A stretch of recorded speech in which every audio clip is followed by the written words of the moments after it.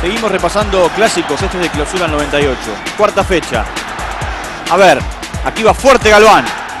Y Castrilli, que como era costumbre, mostraba tarjeta roja.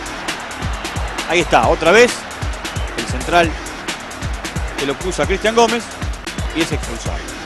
Y después habrá un expulsado para Independiente. En esta jugada, la falta de Torresani. Castrillo entiende que tiene que dejar la cancha. Los dos iban a terminar con 10 jugadores. Doble amarilla para el huevo.